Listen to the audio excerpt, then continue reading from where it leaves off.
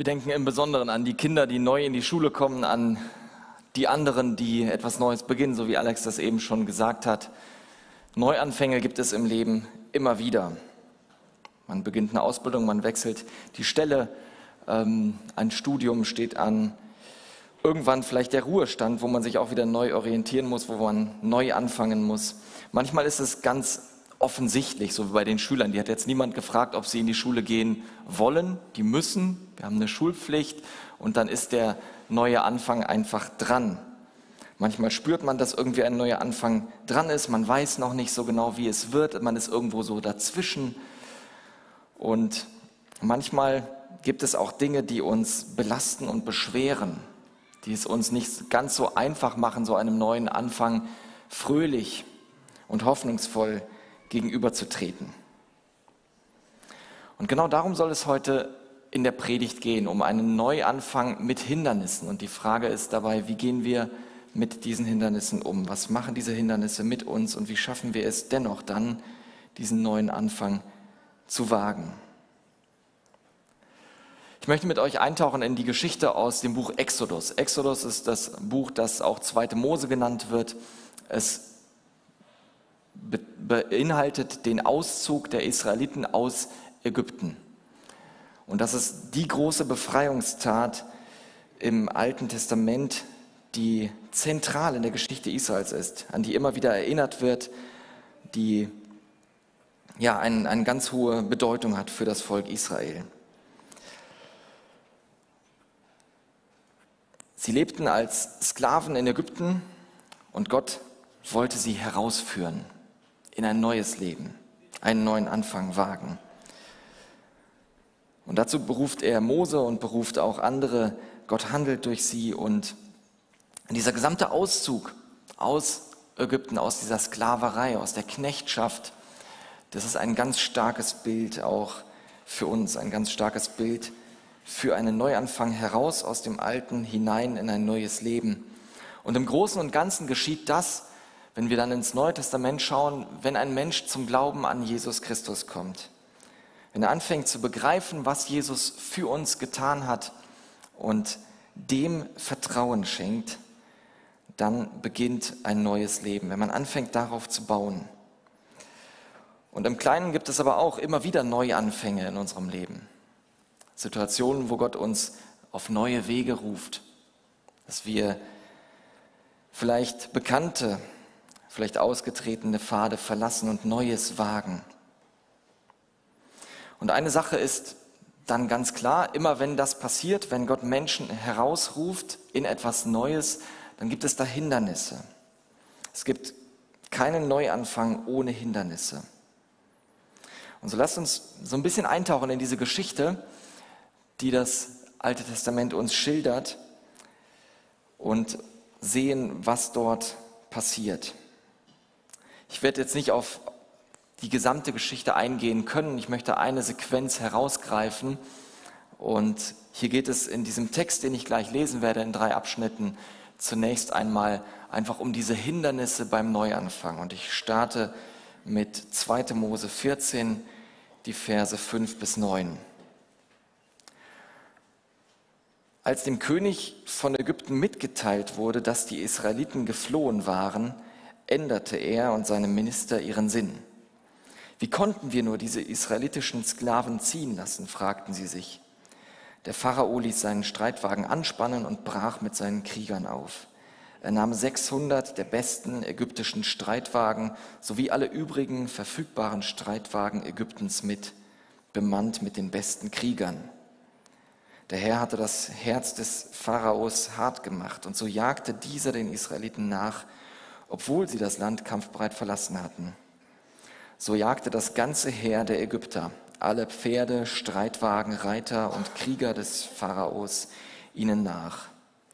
Bei Pihariot gegenüber von Baal Zephon holten sie die Israeliten ein, die dort ihr Lager aufgeschlagen hatten.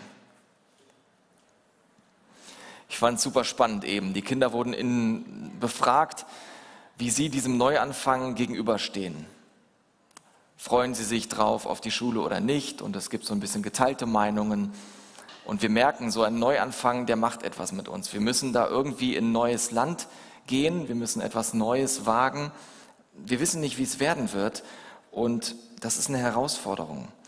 Die Schüler ganz praktisch, sie müssen sich im neuen Schulsystem zurechtfinden da erstmal. Wir haben gehört, manche haben schon Freunde, die mit in die Klasse kommen, andere kennen niemanden, der in die Klasse mitkommt. Man muss neue Freunde finden, neue Bekanntschaften knüpfen. Es sind Herausforderungen da. Ältere Menschen, die in den Ruhestand gehen, die müssen sich damit auseinandersetzen, wie gestalte ich jetzt mein Leben?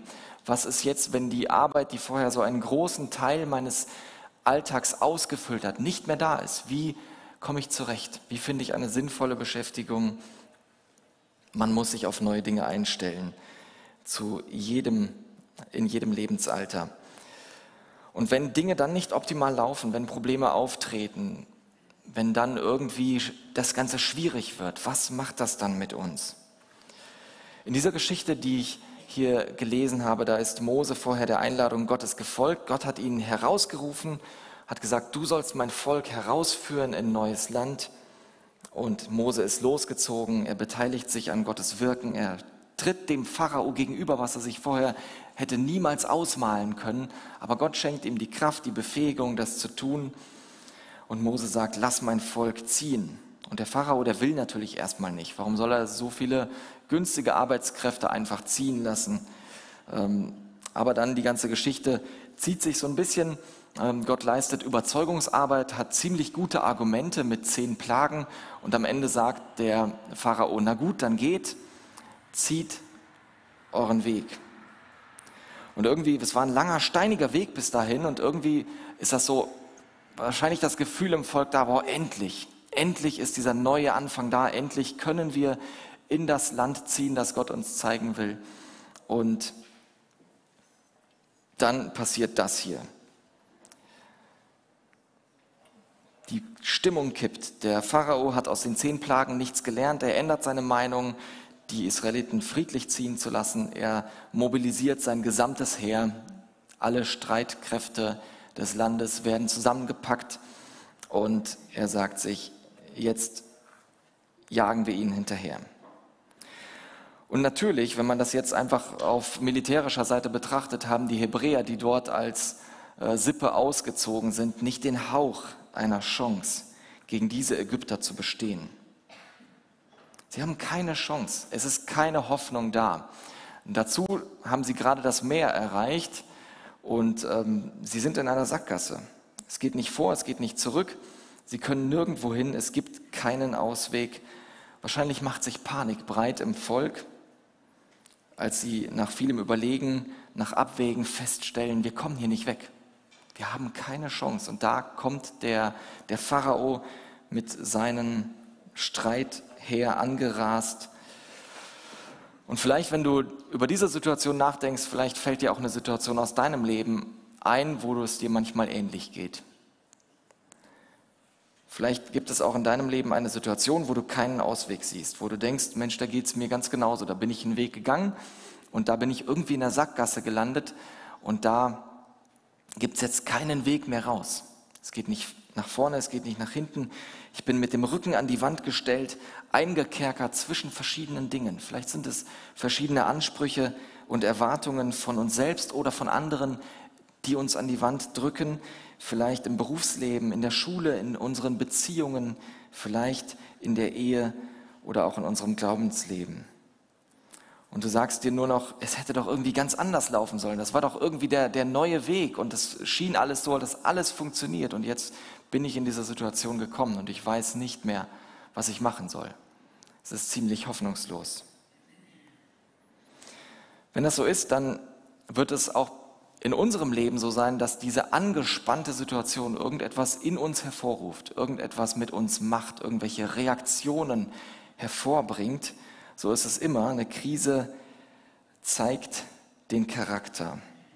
So soll Helmut Schmidt das mal gesagt haben. In der Krise zeigt sich der Charakter. In Krisen wird sichtbar, was unserem Leben Halt gibt oder vielleicht auch, wo der Halt so ein bisschen fehlt. Wie reagierst du in so einer Situation, wenn du keinen Ausweg mehr siehst, wenn du alle Möglichkeiten abgeklappert hast, und einfach nur hoffnungslos da bist. Lasst uns schauen, wie die Israeliten reagieren, was dort passiert dann in den nächsten Versen. Ich lese weiter die Verse 10 bis 12. Als die Israeliten den Pharao mit seinem Heer herankommen sahen, bekamen sie große Angst und schrien zum Herrn um Hilfe. Mose jedoch warfen sie vor, Hast du uns etwa hierher gebracht, damit wir in der Wüste sterben? Gab es denn nicht genug Gräber für uns in Ägypten? Warum hast du uns das angetan und uns aus Ägypten geführt? Haben wir dir nicht schon in Ägypten gesagt, lass uns in Ruhe, wir wollen den Ägyptern dienen? Wir hätten lieber weiter für die Ägypter arbeiten sollen, als hier in der Wüste zu sterben. Eine angespannte Situation bringt immer Reaktionen in uns und in anderen. Was ist die Reaktion hier? Die erste Reaktion, die wir hier beobachten können, ist, sie bekamen große Angst und schreien zu Gott. Und es ist natürlich immer so, wenn Angst in unserem Leben die Überhand gewinnt, dann schreien wir zu Gott, dann beten wir. Das, der Volksmund sagt, Not lehrt beten. Die Angst wendet sich automatisch zu Gott und sie sagt, ich brauche Hilfe. In einem Flugzeug, das in Turbulenzen gerät, so sagt ein Sprichwort, gibt es keine Atheisten. Plötzlich ruft jeder zu Gott und sagt, hey, irgendwie, jetzt ist es wirklich, es geht wirklich um alles und bitte hilf. An was auch immer man da denkt. Fakt ist, die Angst findet ein Ventil und wir sind eingeladen, unsere Angst und unsere Sorgen bei Gott loszulassen. Das finden wir immer wieder in der Bibel, dass Gott uns einlädt, mit unserer Angst und mit unseren Sorgen zu ihm zu kommen, sie bei ihm abzuladen. Deshalb möchte ich dich auch heute ermutigen, wenn du in deiner Situation vielleicht gerade Angst hast, dann gib sie Gott ab. Bring sie zu Gott und lass sie bei Gott. Leg deine Sorge bei ihm ab.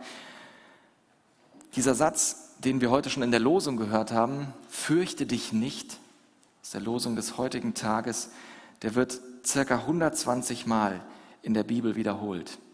Immer wieder sagt Gott, fürchte dich nicht.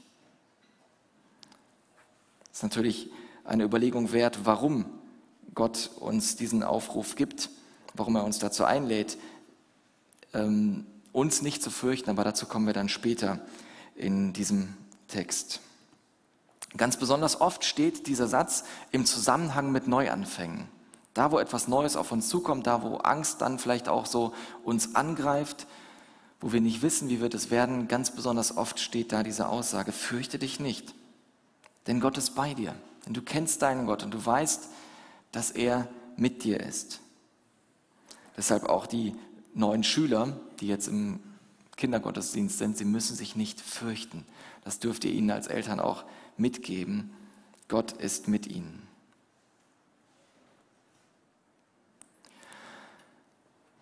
Sich nicht zu fürchten und Gott zu vertrauen, das ist allerdings nicht ganz so einfach. Nicht wahr?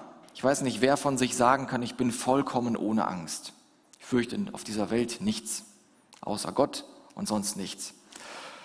Ähm, ich glaube, es ist nicht ganz so einfach, denn die Angst kommt.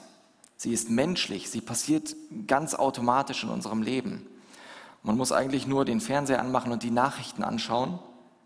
Man muss vielleicht nur den Arzt besuchen oder manche müssen einfach nur aufs Bankkonto sehen und schon ist Angst da. Schon fragt man sich, wie soll das weitergehen? Wie soll das werden? Wie komme ich damit klar, mit diesen Dingen? Angst ist unsere ganz natürliche menschliche Reaktion. Aber Gott ruft uns nicht zur Angst auf. Gott ruft uns in 2 Timotheus 1, Vers 7 zu folgendem auf. Er sagt, Gott hat uns nicht den Geist der Furcht oder den Geist der Angst gegeben, sondern den Geist der Kraft, der Liebe und der Besonnenheit. Und dieser Geist lebt in uns, liebe Gemeinde. Dieser Geist wirkt in uns mit seiner Kraft, mit seiner Liebe, mit seiner Besonnenheit. Und deshalb können wir der Verzweiflung, der Hoffnungslosigkeit und der Angst etwas entgegensetzen, das stärker ist, das diese überwinden wird. In dieser Geschichte kommt es mir dann allerdings so vor, als wenn die Israeliten zwar Angst hatten, als wenn sie auch zu Gott geschrien haben, aber sie haben ihre Angst nicht wirklich bei Gott gelassen. Sie haben sie zu Gott geschrien, aber sie haben sie irgendwie auch wieder mitgenommen. Sie haben sie irgendwie behalten, diese Angst, die sie überfallen hat. Und wenn Angst bei uns bleibt, wenn Angst in uns bleibt, dann wird sie sich immer andere Ventile suchen. Dann wird sie immer an einer anderen Stelle mit einem neuen Gewand rauskommen, mit einem neuen Gesicht. Und deshalb lasst uns weiterschauen. Da kommen noch mehr Reaktionen. Ähm, die Israeliten reagieren dann weiter mit Vorwürfen und Schuldzuweisungen. Sie wenden sich an Mose und sagen, hast du uns etwa hierher gebracht, damit wir in der Wüste sterben? Gab es nicht genug Gräber für uns in Ägypten? Und das ist aus meiner Sicht nicht einfach nur so ein Vorwurf, sondern es ist auf der einen Seite schon eine, eine richtige Unterstellung. Hast du uns hierher gebracht, damit wir hier sterben? War das etwa dein Plan? Hast du das gewollt? Und das, dieser Vorwurf, der kommt schon äh, ziemlich scharf rüber, ziemlich sarkastisch auch. Man spürt den Worten diese Bitterkeit ab, die dort geherrscht hat. Wenn man keinen Ausweg sieht, dann kann man manchmal bitter werden und da kann Sarkasmus sich breit machen, der so sich hier ausdrückt mit den Worten, gab es nicht genug Gräber für uns in Ägypten. Man spürt den Worten die Verzweiflung ab. Und Mose bekommt den Frust hier ab. Vorwürfe, Schuldzuweisungen. Warum hast du uns das angetan? Mose wird persönlich dafür haftbar gemacht. Und ich denke, Schuldzuweisungen sind allzu menschlich. Wir Menschen brauchen irgendwie dieses Konstrukt, dass wir denken, wer hat jetzt Schuld? Wer hat jetzt was falsch gemacht? Wem können wir das nachweisen? Wen können wir dafür zurechtweisen? Aber Schuldzuweisungen bringen eigentlich nur selten weiter. Ich bin schon der Meinung, dass Schuld benannt werden muss.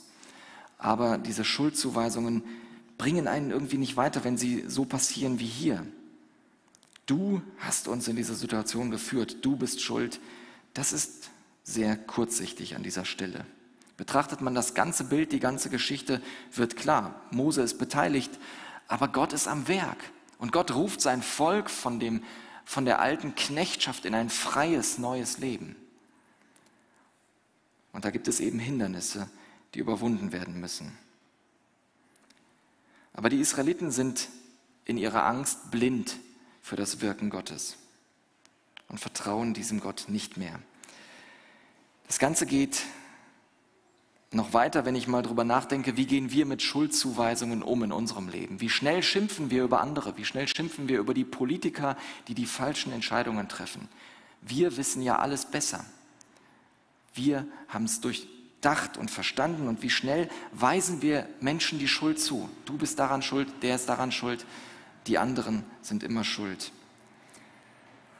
Ich glaube, wir sind dazu aufgerufen, für Menschen zu beten, für verantwortliche Politiker zu beten und weniger über sie zu schimpfen.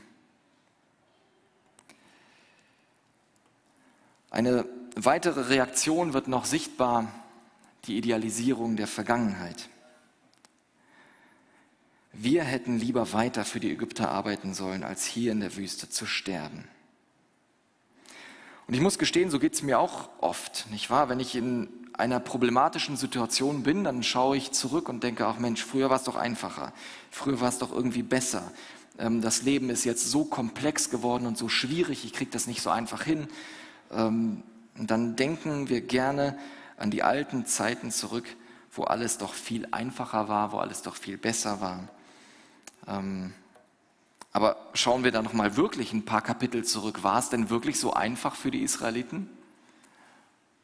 Da lesen wir was anderes. Sie wurden unterdrückt, sie wurden ausgebeutet, die Not war groß, sie schrien immer wieder zu Gott, Gott, hol uns hier raus, bitte hol uns hier raus, bitte hol uns hier raus. Und damit beginnt doch die Geschichte des Exodus dass Gott sah, hat es gesehen, dass Gott hörte, dass Gott sich erbarmte.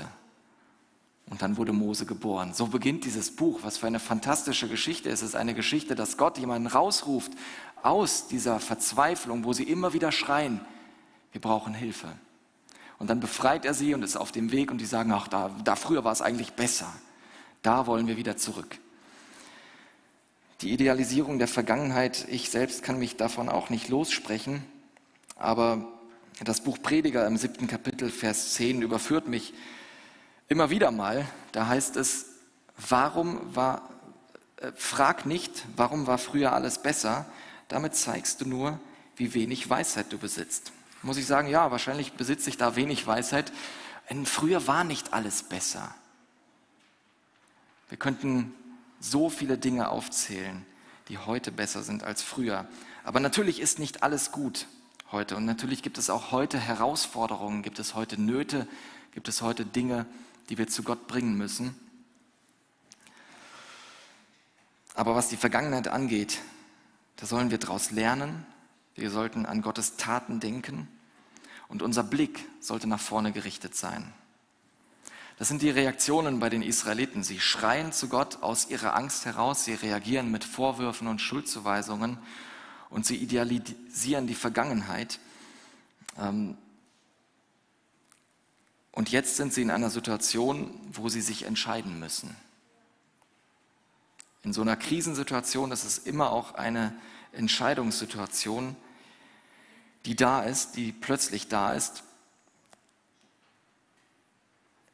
Und für uns gilt dasselbe. Wenn wir in einer Situation sind, die so ähnlich ist, wo wir eine Krise erleben, wo wir bestimmte Herausforderungen haben, dann müssen wir entscheiden, glauben wir Gott oder glauben wir den Umständen oder glauben wir allen, allen anderen Dingen?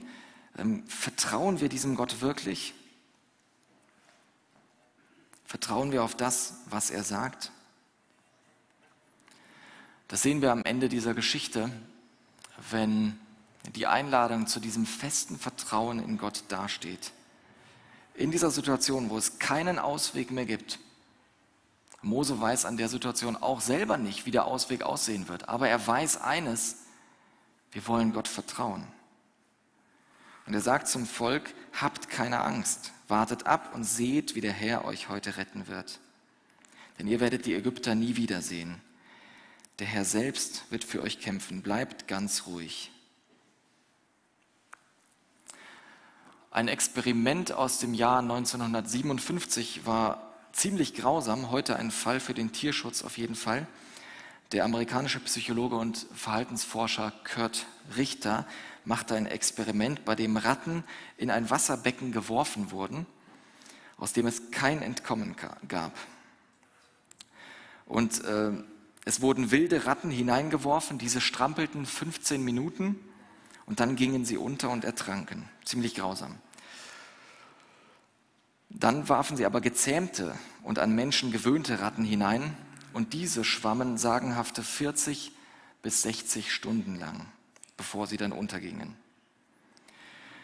Die Forscher waren verblüfft. Sie haben sich gefragt, woran liegt das? Und sie änderten die Versuchsanordnung. Sie haben irgendwie dann ein paar Dinge verändert. Jetzt nahmen sie die wilden Ratten, die sie reingeworfen haben, nach ein paar Minuten wieder aus dem Wasser heraus und setzten sie dann wieder hinein. Und das hatte erhebliche Folgen. Nun paddelten auch diese wilden Ratten genauso lange wie die zahmen Ratten, die an Menschen gewöhnt waren.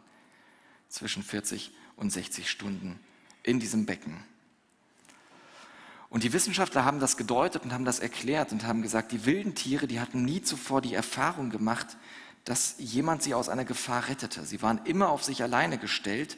Deshalb hatten sie im Bewusstsein, dass es kein Entrinnen gibt, nach einer Viertelstunde aufgegeben. Die an Menschen gewöhnten Ratten und die wilden Artgenossen, die kurzzeitig mal herausgenommen wurden, sie machten die Erfahrung, dass eine Rettung von außen möglich ist. Und die Wissenschaftler sagen, man hat diesen Ratten etwas sehr Mächtiges gegeben, nämlich Hoffnung. Ihr Lieben, diese Hoffnung, dieses feste Vertrauen auf Gott brauchen wir in unseren Situationen, wo wir Ausweglosigkeit erleben, wo wir Angst haben. Da müssen wir verstehen, Gott ist an unserer Seite. Er macht nicht immer alles so, wie wir, wie wir uns das vorstellen, dass wir denken, er nimmt uns jetzt raus aus allen Herausforderungen und wir müssen uns nicht mehr anstrengen. Nein, aber er ist bei uns und er steht uns bei. Und mit dieser Hoffnung werden ungeahnte Widerstandskräfte auch in uns lebendig. Die Israeliten mussten eine Glaubensentscheidung treffen. Glaube ich jetzt, dass Gott immer noch da ist?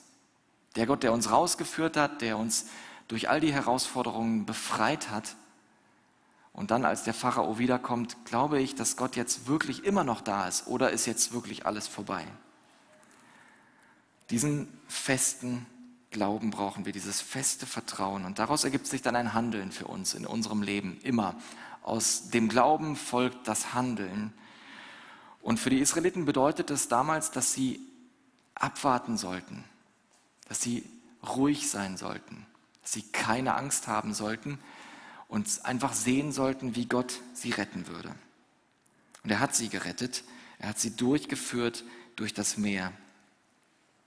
Was bedeutet das für uns? Es kann sein, dass Gott uns dasselbe sagt in unserer Situation. Warte ab, vertraue Gott. Es kann aber auch sein, dass er uns etwas anderes sagt, je nach Situation, in der wir drinnen stehen. Es kann auch sein, geh jetzt los und mach genau das, wovon du weißt, dass es richtig ist. Da muss Gottes Geist zu uns sprechen und uns persönlich sagen und führen, was für uns dran ist. Es ging heute um dieses Thema Neuanfang mit, mit Hindernissen. Wir haben gesehen, ähm, Hindernisse gibt es bei jedem Neuanfang. Es gibt unterschiedliche Reaktionen. Bei den Israeliten äh, waren es diese Reaktionen Angst und der Schrei zu Gott, die Vorwürfe und die Idealisierung. Und ähm, ich möchte dich einfach einladen, diese Gedanken mitzunehmen und darüber nachzudenken, was für dich dran ist. Ein Neuanfang wird oft aus einer Krise geboren es ist eine Weggabelung, wo man dann vor der Frage steht, vertraue ich oder vertraue ich nicht? Welchen Weg gehe ich und wie gehe ich diesen Weg? Und vielleicht hast du auch viele Probleme und Hindernisse, die du gerade aktuell in deinem Leben wahrnimmst und siehst. Vielleicht kannst du aber auch darin eine Einladung Jesu entdecken. Dass Jesus dir sagt, ja, die Probleme und die, die Nöte sind da, aber ich möchte dir zeigen, dass ich größer bin. Ich möchte dir zeigen, dass du mir vertrauen kannst in dieser Situation. Ich möchte dir zeigen, dass du keine Angst haben musst, weil ich an deiner Seite bin und weil ich mit dir gehe. Und für manche sieht es vielleicht auch so aus, dass sie ihr Leben ganz neu oder vielleicht auch das erste Mal Jesus ganz bewusst anvertrauen sollten und sagen sollten, ich möchte jetzt anfangen, mit dir zu gehen. Wir haben vorhin so ein schönes Lied gehört, I will follow von den Kindern ich will dir folgen. Vielleicht ist es dran, einfach zu sagen, ja, ich möchte diesen Weg gehen, einen Weg, der mich herausführt aus meinem alten Leben in ein neues Leben. Dazu bist du eingeladen. Gott möchte eine Beziehung mit dir haben. Gott möchte die Beziehung mit dir wachsen lassen. Und ich möchte dich ermutigen, wo immer Gott dich einlädt, da geh mit. Wenn du etwas wahrnimmst, dann sei voller Glaube und setz dich in Bewegung. Amen.